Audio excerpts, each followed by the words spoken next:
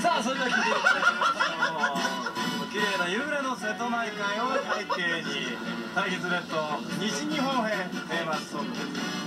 大泉洋さんで自動車召喚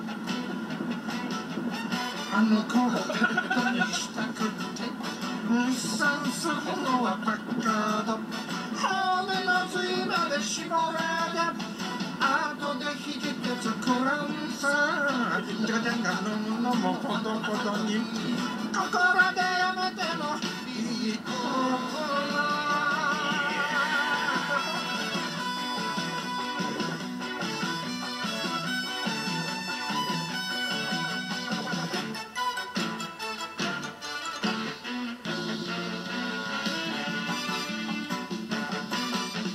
ベンツに黒い屋根転んで